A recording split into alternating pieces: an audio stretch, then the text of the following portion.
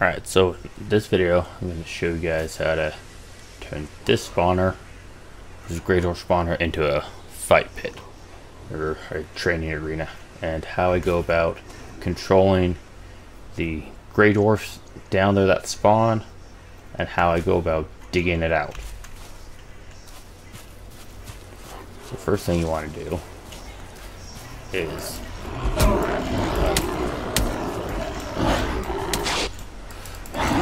clear out some of the uh, Grey Dwarfs here.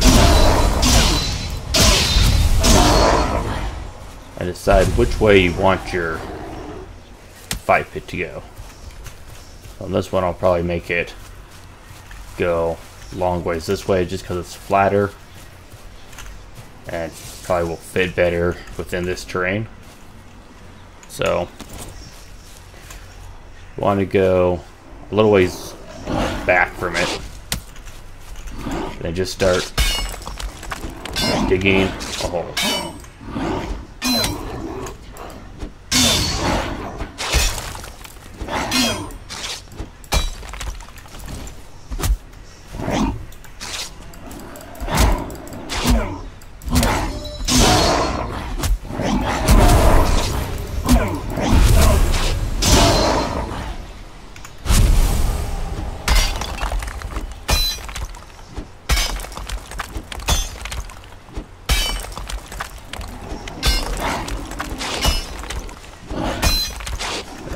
Here is to get deep enough, the sharp enough edge on the pit that the Grey Dwarfs get stuck down here. So that's the goal right now. So they shouldn't be able to get out of that. So now what you want to do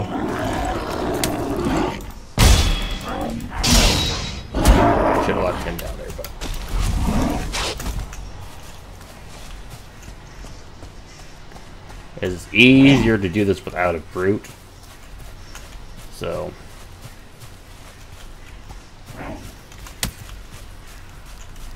try and get him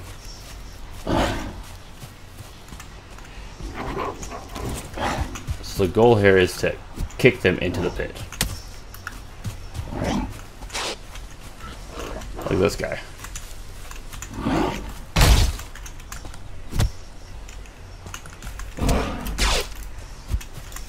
We got that guy down there. So the spawners can only spawn three people at any time if they're within a certain distance of the pit.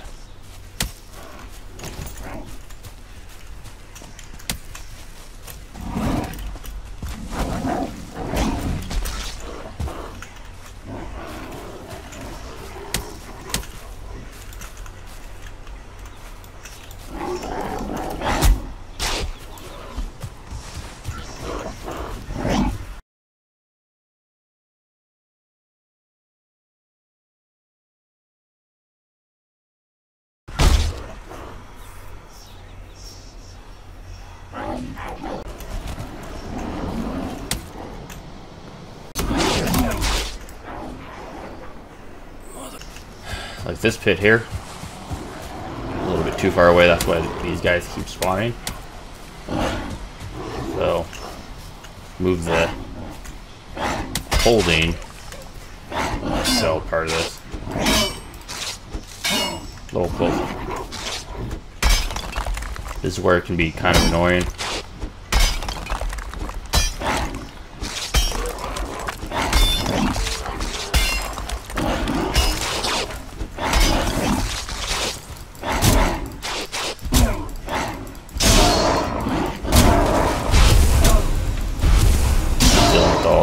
Guys getting in your way.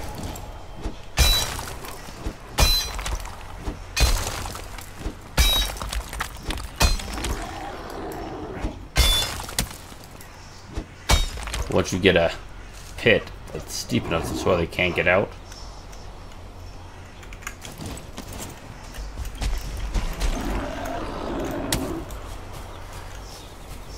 um, want to use your kicking. That's just your arms. Like, like if you're fist fighting. to kick the.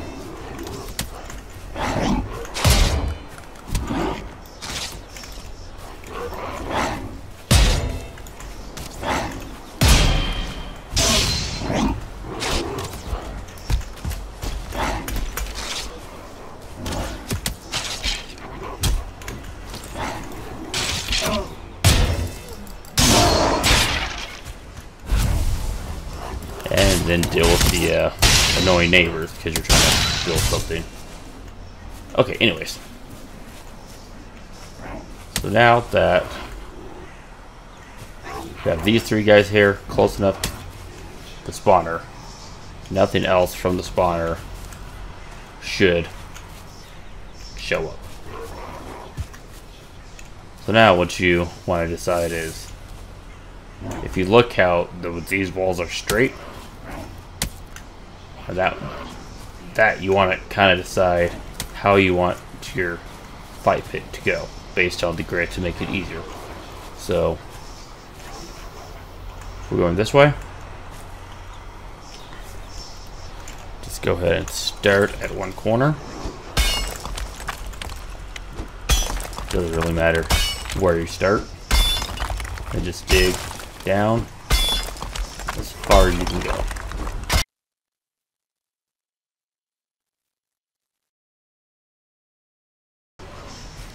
Once you get down far enough, the easiest way to do this for and the most efficient is to aim for the corner,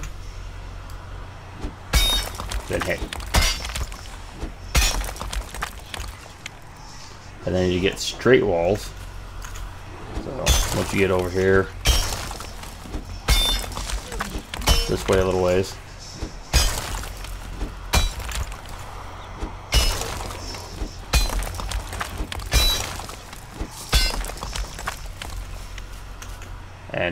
Let's you want to go straight down this wall, you want to aim out away from it a little ways, at the ground. And see, lines up straight with what you're already digging out. Like this, how it's opposite like that. Kind of aim for the corner. And I'll take that chunk out.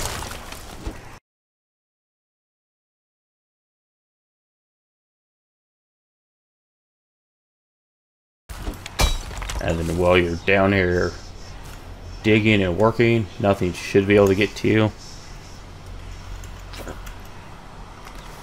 You can give yourself some creature comforts.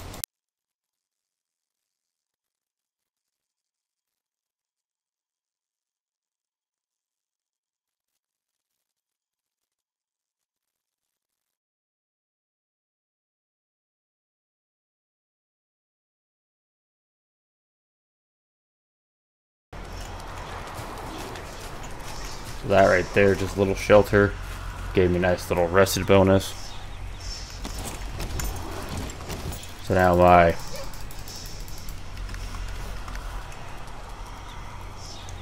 So that gave me a little rested bonus so now my stamina will come back better while I'm digging.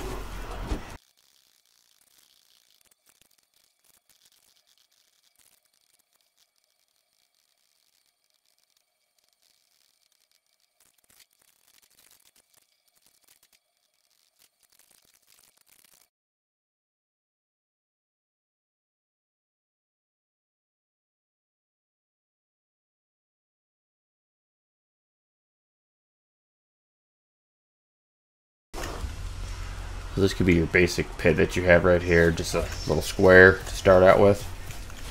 And then to make a nice little exit.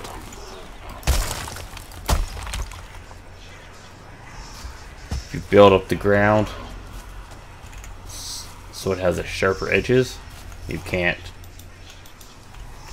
uh, just climb up it.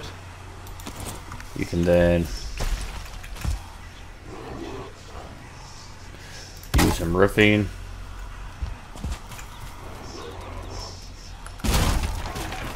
Or some steep roofing.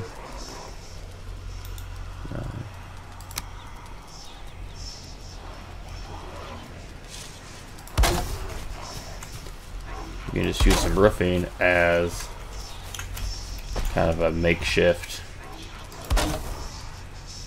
way to get in and out of here for now.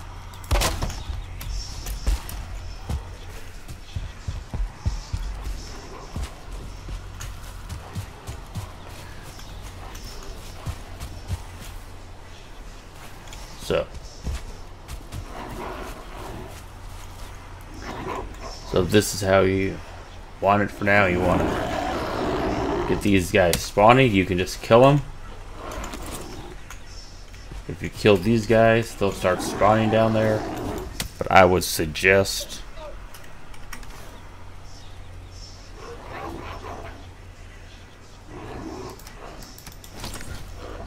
um, building up the outside walls a little bit.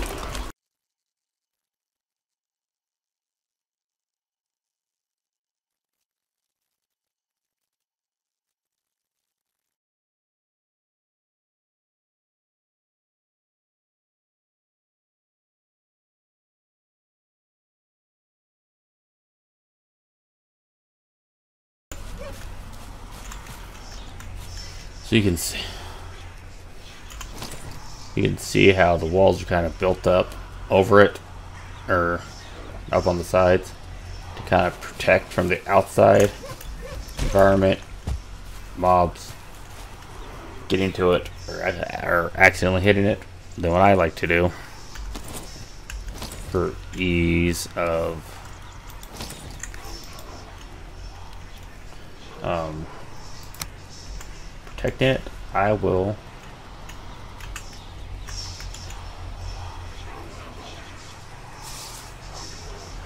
build a floor to it. Or open it.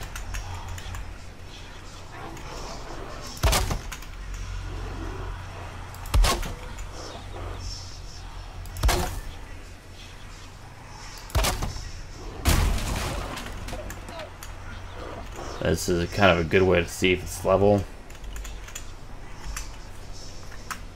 So the side needs to come up a little bit more.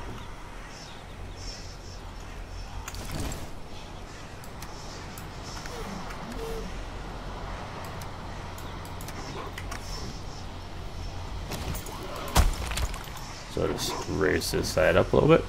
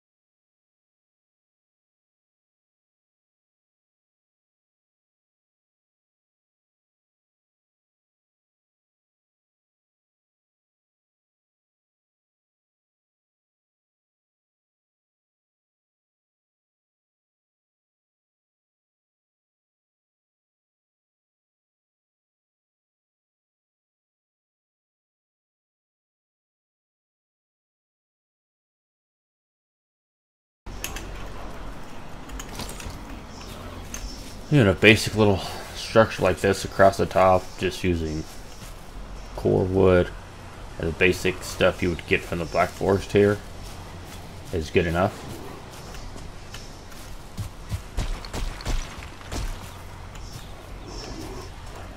So when you're ready to start with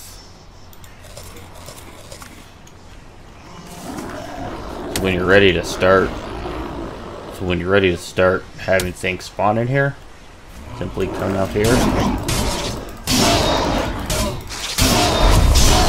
kill these guys off.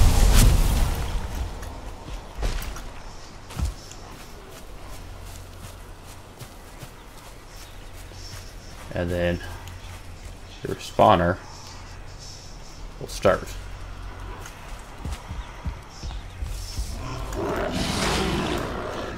Like up here. Great way to, well, safety thing to work on your bow.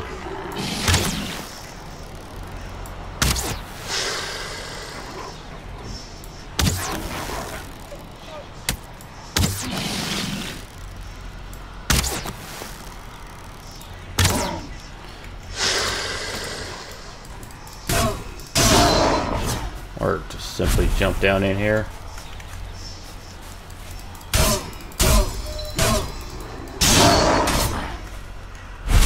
Go at it.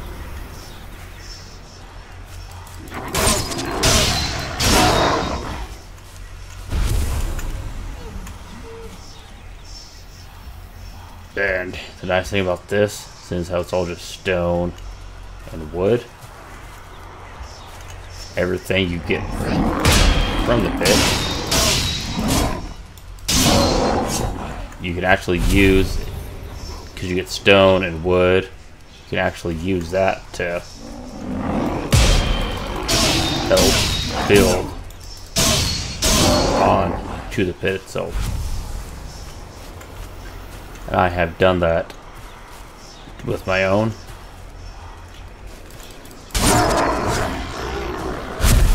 So now you can just sit down here.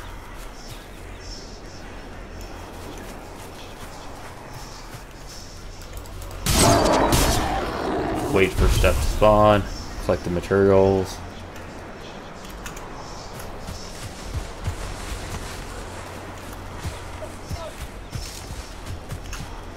and then leave the pit go work on some of the build and then just come back down when you're ready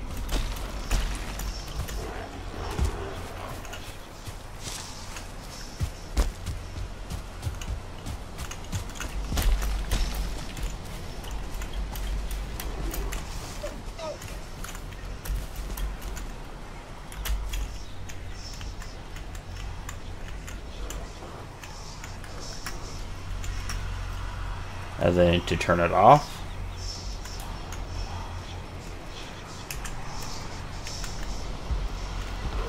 Then turn it off all you should have to do is simply cover up the sky directly above it. So you can't see can't see off to that side. Can't see from over there.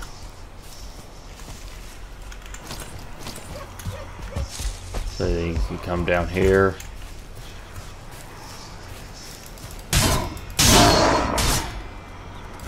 Clear out everything down here. And then the spawner should be off.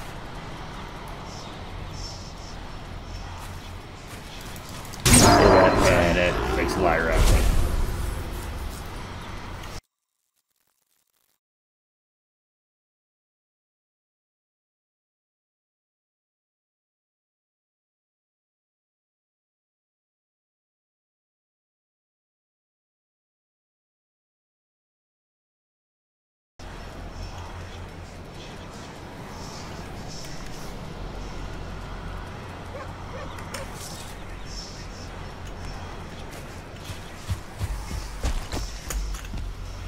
So you have to have your flooring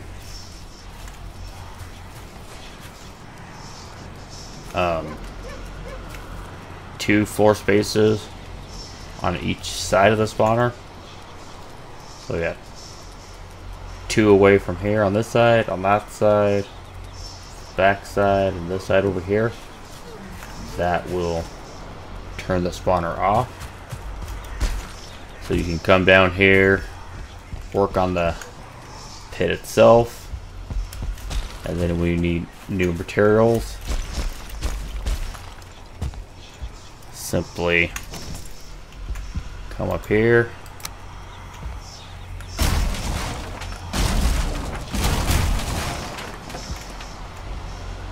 Expose the spawner itself to the sky.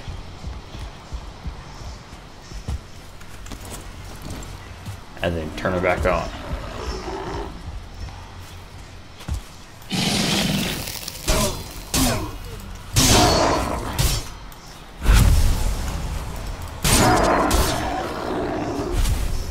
you can be down here collecting materials, working on spawner itself up there, increasing your skills all at the same time.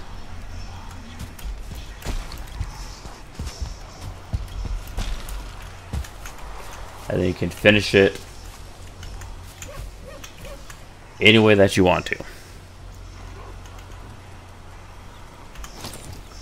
And that is how I go about getting a spawner set up so I can have a fight pit, grab some basic mats, and really use it to level up uh, skills that I don't normally use through the normal plane of the game.